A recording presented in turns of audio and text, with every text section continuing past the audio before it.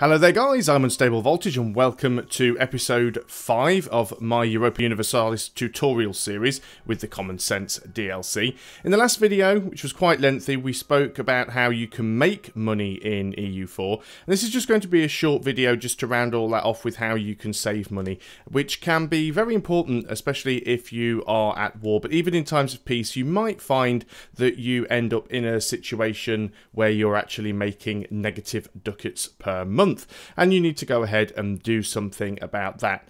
Now, the way the game works is you do have the ability to take out loans, and loans last for five years. And if you actually mouse over taking a loan here, it will tell you how much you will get from the loan and how many loans you can have at any one time. It also tells you what the interest rate is, and it tells you that it will increase the inflation by taking a loan. So you can have multiple loans at any one time if you ever go um, down into negative treasury, it will automatically take a loan out for you at the beginning of the month to bring you back up to a positive treasury. Um, when the loans are due, you get the option to pay them back. If you can't afford to pay them back, you can reissue the loan, assuming you have enough spare loans that you can take out. If you get to a point where you're actually in minus figures and you have taken out the maximum number of loans, you will go bankrupt and that will be game over. If you take out a lot of loans, you will get monthly interest, which does go down over time, so you will have to pay the monthly interest back. So remember, if, like in the current situation, I'm losing um, 1.79 ducats per month, if I took a loan out, I'd be losing more than 1.79 ducats per month because I'd be paying the interest on the loan. But you don't actually pay the loan itself back until the five years are due.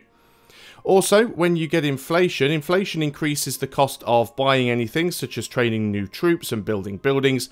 You can reduce the cost of inflation by spending um, diplomatic points to bring the inflation down. Uh, sorry, admin points to bring the inflation down. So you can actually reduce inflation. You will also find that there are certain advisors who also have the ability to reduce inflation. We don't have one at the moment, but you can get that. Also, if you're playing a Catholic nation and you are part of the papacy, you uh, if you save up enough papal influence, there is an option in here somewhere to actually reduce um, that there. Forgive uh, forgive usury. So you can actually reduce the interest per annum by one if you have uh, 25 papal influence to spend. While we're on this screen, another good way of making a little bit of extra money if you have the papal influence is if you if you save up 100 papal influence, you can gain one mercantilism, which will actually help you with your trade, give you a little bit of extra money there. So why are we losing money? What do we need to do? What do we need to have a look at? Well, the first thing you might want to do if you are losing money is go ahead and have a look at your advisors. Now, advisors are normally definitely worth having because they give you additional monarch points each month and they will also give you a certain modifier. So like this guy, for example, gives me 10% uh, production efficiency. But if you're really, really short of money, you might want to get rid of these guys. I could kick this guy, and getting rid of him would save me the one gold, uh, or the one ducat per month that I'm spending on him. Bear in mind, though, if I then decided I wanted to rehire him, I can't get another level 1, but if I wanted to rehire someone who was level 1, it'd probably cost me another 16 ducats just to rehire them. So unless I'm going to keep, unless I'm going to get rid of him and keep him gone for 16 months, then it's probably not worth it. Plus, that 10% production efficiency may well be giving me um, the extra one ducat per month back. But if you're really, really struggling, you definitely might want to consider firing some of your advisors to save a little bit of money there. It's also worth noting that having certain advisors, as well as actually giving you the monarch points and the modifiers, certain advisors also open some of these national decisions. So some of these national decisions require you to have a specific type of um, councillor. So, for example, this one, the Advancement of Religion Act requires a theologian. So, if we actually had a theologian advisor, and we don't actually have one because it's a dip- it's a diplomatic advisor. But if we had a theologian, then we would get the option to pass the Advancement of Religion Act. So it is worth checking these things because sometimes getting a, getting a specific advisor will give you will give you the option to get one of these specifically.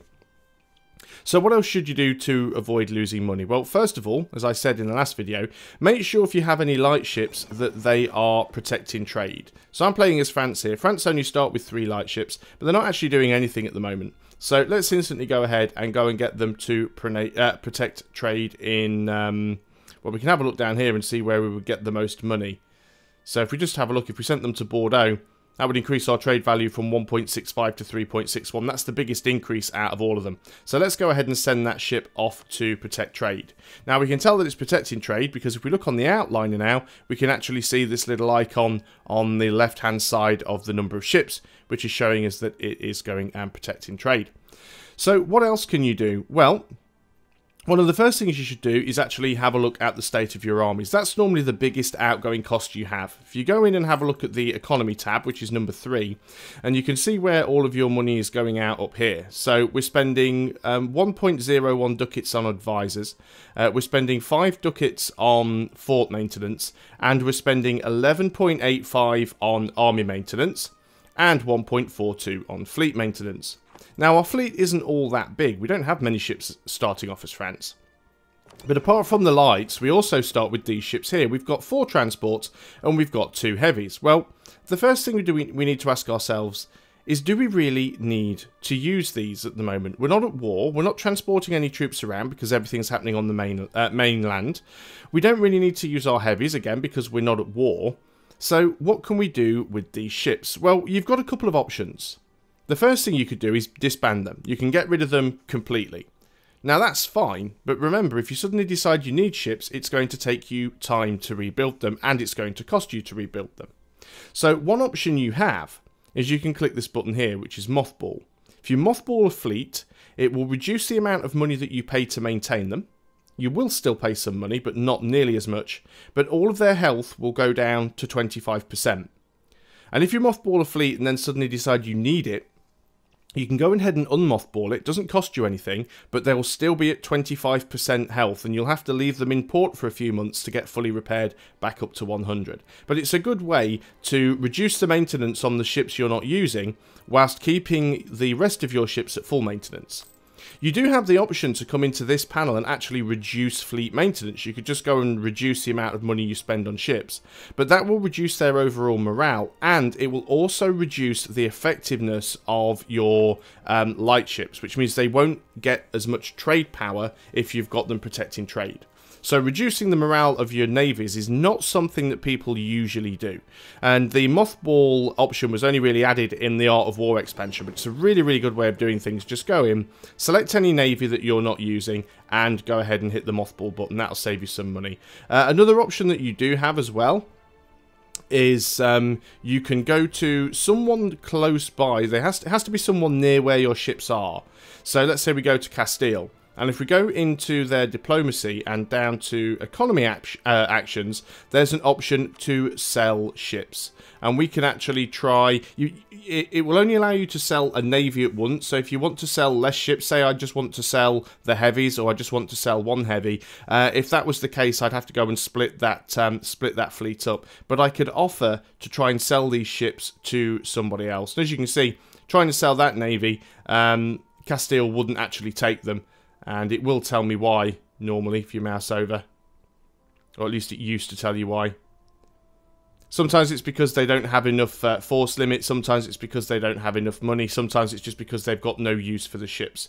Uh, but it used to tell you the reason why and it seems that that has now disappeared. But you can try and sell your ships as opposed to disbanding them. So if you decide you want to get rid of them you might want to try and sell them first before you disband them the second thing to consider is mercenaries. Do you have any mercenaries? Mercenaries are great, especially at a time of war. They don't cost you any manpower, but they're incredibly expensive to hire, they're very expensive to maintain, and they're even more expensive to reinforce. If any of your armies have suffered casualties, they reinforce every month. Now, if they're your own standing armies, they still cost you money, but they reinforce from your uh, manpower pool. If they're mercenaries, they don't cost any manpower, but they cost a huge amount of money. But even just having them standing around means they're costing you quite a bit. So the first thing you should look at is do you need mercenaries? In my opinion, there's only two times when you really should have mercenaries. If you're at war and you need the mercenaries to bolster your numbers, Or if you're at peace but you don't have much manpower and you've got a small army, maybe you want the mercenaries just to uh, boost your numbers up to make sure that somebody doesn't attack you. Well, I'm not currently at war, I'm at peace, and I've got quite a big standing army. If I go ahead and have a look at the economy, I can tell if I've got any mercenaries by mousing over the army maintenance tab and it shows me my armies and it actually says my mercenaries and it also says I'm over the force limit which is something that I will uh, cover shortly. So I'm actually spending money on mercenaries. Now, you might have mercenaries as a separate army, or they might be mixed in with your army. And the easy way to tell if you have any mercenaries in an army is click on the army and look at this button here. This is the uh, the top right hand button. It looks like a little uh, little mercenary with an arrow pointing to the left. And if you mouse over this one, because the button is not lit, it says there are no mercenaries in this army to detach. But if I go over here and click on this army, the button is lit. And you can see it says here, all mercenaries from this unit will be detached and form a separate unit. So if you actually look at the army down here and scroll up and down on the list, you'll see that two of the regiments here are green. And these green regiments represent the mercenaries. Now, there's a couple of different ways you can separate them and you can manage them, like splitting the army and doing it manually, but we'll talk about that in another video when we actually cover dealing with armies. The easiest way for now to separate the mercenaries is click that button. And what that will do, it'll kick them out, and you can now see the army size here is 6, because the mercenaries aren't in this regiment. If I, oh, sorry, the regiments aren't in this army. If I go ahead and click on the stack again, it will switch to the uh, two regiment army, which is just the mercenaries. And we can go ahead and disband them straight the way. So now we've got rid of our mercenaries. We're already making positive money.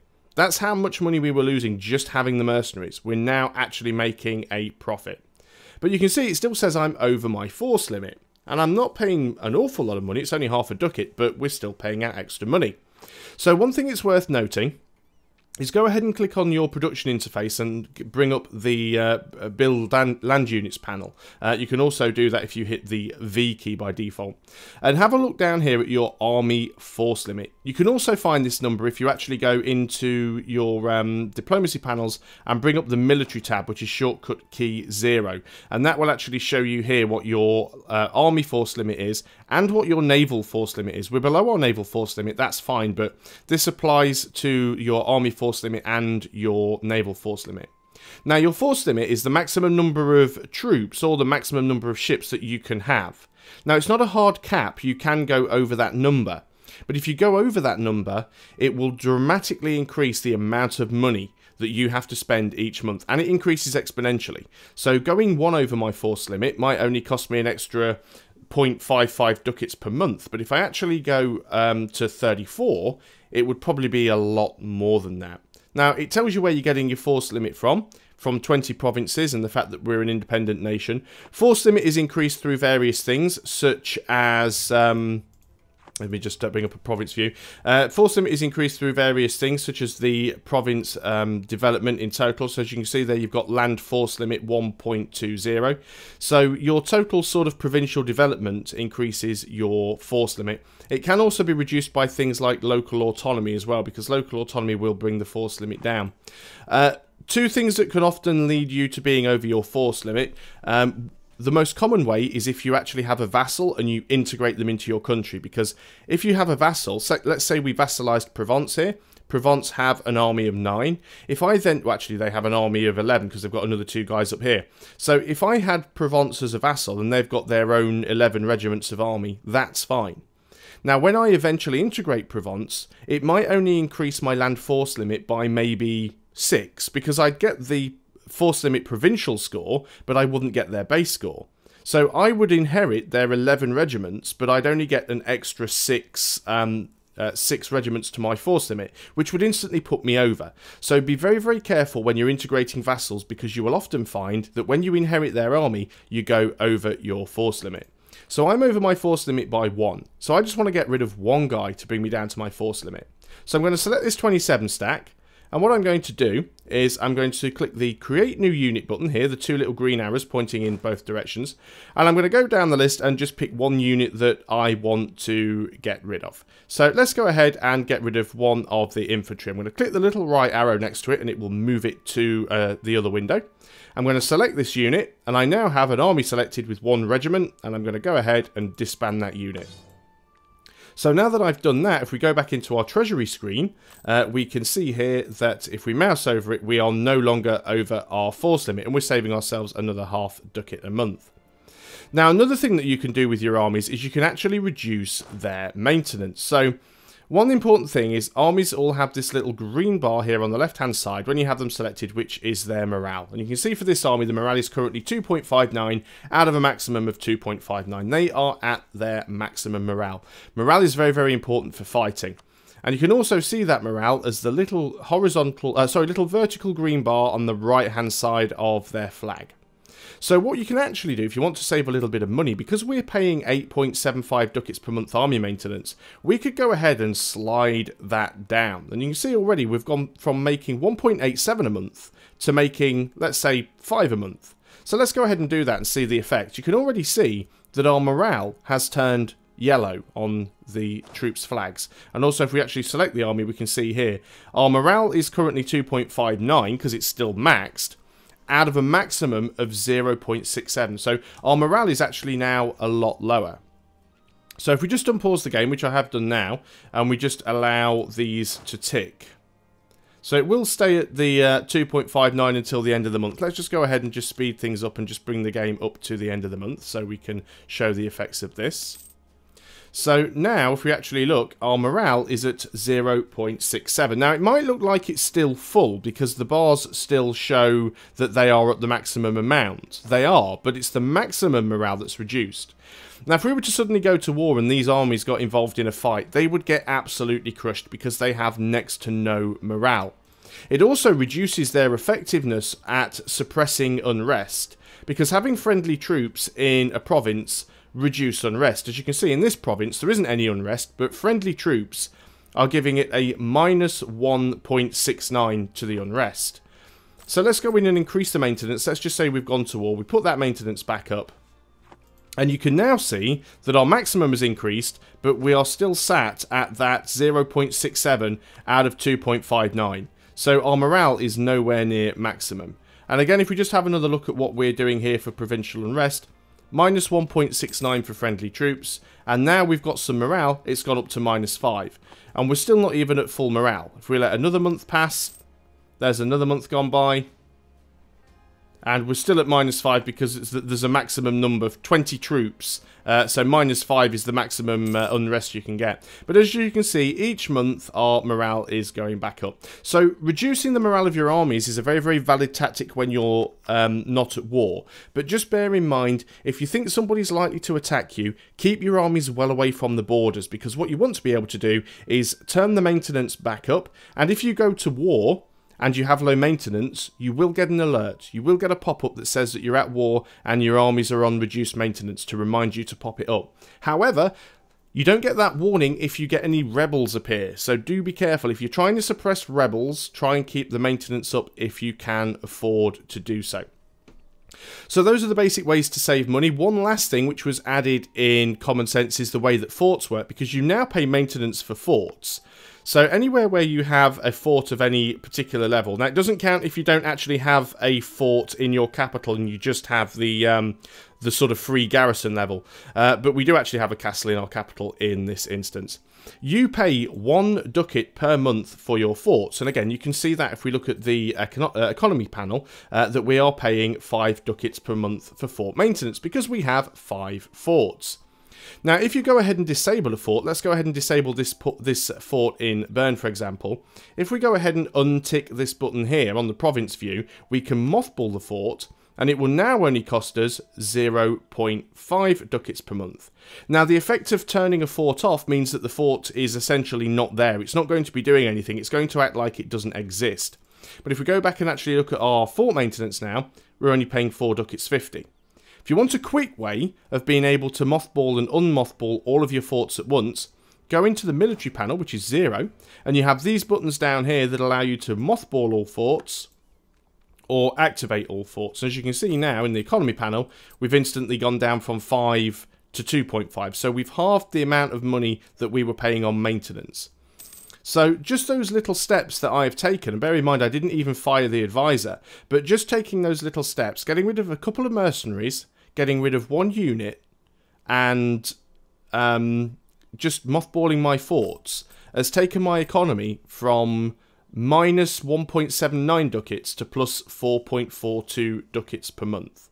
So those are just little things you need to watch for if you are losing money. Um, one final thing is avoid putting your troops anywhere where they're going to get attrition. So always select an army and mouse over the different provinces and have a look what the supply limit is and the army weight. So as you can see, Poitou here has a supply limit of 33 and the army weight is only 26. We're under the supply limit, that's fine. Obviously this is a tiny little army. Berry has a supply limit of 22, that is fine as well. But if we were to go ahead and put all of that army into a single province, and again, let's just speed time up so we can do that. We're going to put the entire army in Berry, which doesn't have enough supply limit to um, hold them all. You'll now see that this little skull has appeared next to them. So now that this skull has appeared here, it means that the army is actually taking attrition. The land can't support them. And what's going to happen now is each month, this army is actually going to lose men. As you can see here, we don't really need uh, many men to reinforce because it reinforces quite quickly. But what will happen is at the end of every month, you'll see a little negative tick we didn't get one that month, but because we take attrition here, we're losing men. Now, it's not on a very big scale here because of the way that I've done it, but if we were losing a lot more men, we would be reinforcing them every month and that would be costing us a lot of money. So try and make sure you don't have your armies standing anywhere where they're getting attrition unnecessarily. Split your armies up, move them into provinces, move them into coastal territories where the supply limit is higher. If you're ever sure what the unsure what the supply limit is, remember you can open the map modes button, uh, the map modes, and there is a supply limit icon which I'm going to lose. There it is. It's the little um, sort of sack with the upwards red arrow. If you click on that map mode, you can see where your supply limit is highest by the lighter green colours, and the lowest is the, the sort of orange and red colours. And if you select an army, the colours will change to show you where it's safe to stand and where it isn't safe to stand. So avoid taking an attrition. You also take attrition in enemy territory until it is occupied. So bear in mind if you are at war, you want to keep away from enemy territory unless you need to be in it. One final thing that you can also do, especially if you're at war, is go into the military tab and uh, sorry, not the military tab. It is the economy tab, and you have the option to spend some points to raise war taxes, which basically just means that you're you don't pay as much money for your troops. Um, but uh, bear in mind, you can only do that if you're at war, and it does cost you some um, monarch points as well. But those are the basic ways to try and save money. So you know how now know how to make money, and you now know how to save money. So when we come back on the next video, we're actually going going to talk about how we uh, make claims against our neighbours so that we can get ready to go to war with them. And we'll talk a little bit more about building up our armies as well. So thanks a lot for watching, guys. I hope you're still finding these videos useful. I'll see you on the next video. Until then, goodbye for now.